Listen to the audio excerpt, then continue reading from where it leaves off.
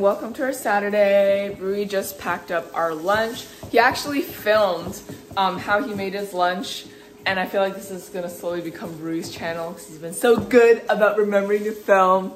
And he is frying up some pancakes for us, scallion pancakes. So uh, yeah, we're gonna have breakfast.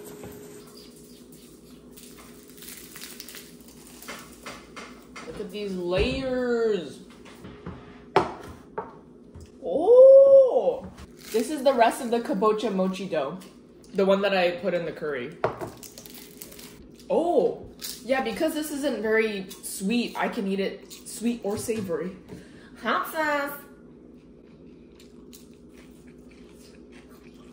It's great. Is it better sweet or savory? Hmm. Mm. That's so much maple syrup. Okay, we gotta go. Bye. Ooh.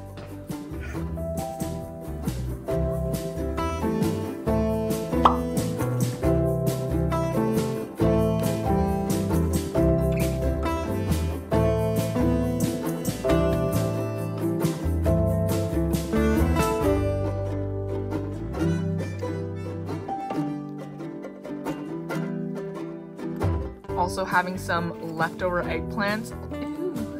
This looks very unappetizing. Mmm, looks so delicious. Damn. Not gonna lie, the eggplant is better today.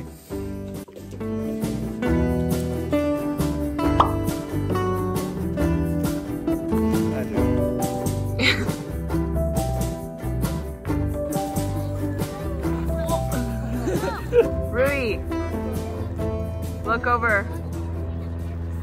So for dinner, we went to a place called Roti Cuisine of India and we got the mixed veg curry and the aloo gobi. Mm-hmm.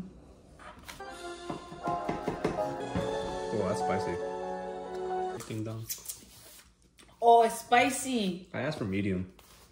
Dang, that's gonna burn my booty hole. I imagine the best place to start is at the beginning. Uh, very easy for me emotionally. Call me Loopy. Uh, because, you know. Do you wanna get the cashew cream? Mmm, good idea. It's quite spicy. Is my spice tolerance gone down? Man, this thing stays so hot. I know. Holy shit. Like, as you burn yourself opening it. I know, it's in a pickle jar, don't at me. This is where I usually keep my ugh, Korean barley tea. Oh, my sternum. Um, but then yesterday I mixed in the hibiscus soak water tea.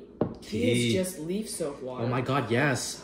Anyway, I mixed in the hibiscus tea, so now it's this gorgeous shade of red. Oh, it looks like wine. And added a little bit of sugar. Just Cheers.